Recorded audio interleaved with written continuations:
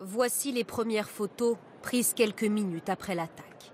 Au sol, entouré par les pompiers et les policiers, l'homme qui vient d'attaquer les deux militaires. Il est un peu plus de 20 heures. Sur ce boulevard du centre-ville de Bruxelles, les soldats patrouillent à proximité d'un théâtre. Soudain, un homme se jette sur eux. Il a un couteau à la main. Les militaires ripostent. L'individu a essayé de poignarder les militaires, de les tuer les soldats l'ont intercepté, l'ont arrêté et lui ont tiré dessus. L'individu est grièvement blessé et décède quelques heures plus tard. Selon le parquet fédéral, il est âgé de 30 ans. C'est un Belge d'origine somalienne. Il aurait crié à la Akbar à deux reprises avant de passer à l'acte. Dans ce quartier animé le vendredi soir se trouvaient de nombreux habitants. Certains ont paniqué. Et d'un coup, c'est qu'on voit, on voit que ça court dans tous les sens, des policiers, des ambulanciers, militaires et tout. Ils nous ont dit de reculer comme ça de la zone. On n'a pas compris. On est resté un peu à l'écart. On a regardé de loin.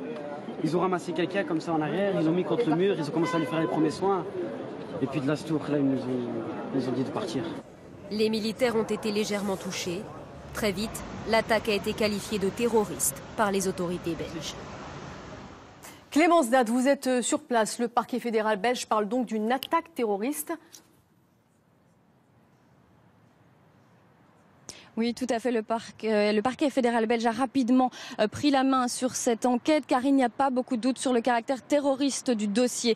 Vers 20h15, l'homme a donc crié à la Wakbar en se précipitant euh, sur les trois militaires et c'est là qu'ils ont fait feu. L'assaillant est donc décédé quelques temps après à l'hôpital. Il s'agirait donc d'un Somalien d'une trentaine d'années connu pour des faits de droit commun mais pas pour des faits de terrorisme. Mais des vérifications sont encore en cours à l'heure actuelle pour en savoir plus sur l'identité de cet assaillant. Il y a 30 minutes environ, le périmètre de sécurité a été levé ici euh, sur cette artère. Il n'y a donc plus euh, de policiers. Les voitures peuvent à nouveau circuler sur cette artère du centre-ville de Bruxelles. Et rappelons euh, tout de même qu'il y a 1250 militaires qui sont postés dans les rues de Bruxelles depuis maintenant janvier 2015. Depuis Bruxelles, Clémence Date, merci beaucoup. Et autre agression au couteau ce soir, cette fois au cœur de la capitale britannique, un homme a été arrêté après avoir blessé deux policiers devant le palais de Buckingham. Euh, Clément Le Goff, vous êtes sur place. Quelles sont les informations dont vous disposez ce soir?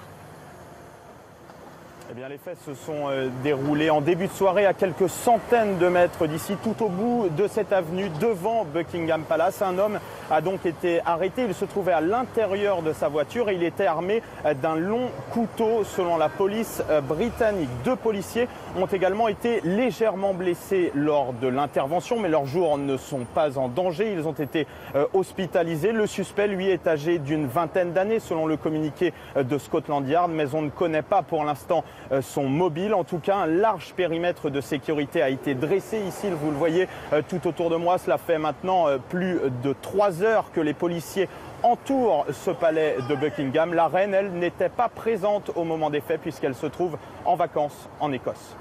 Clément Le Goff, merci pour toutes ces explications.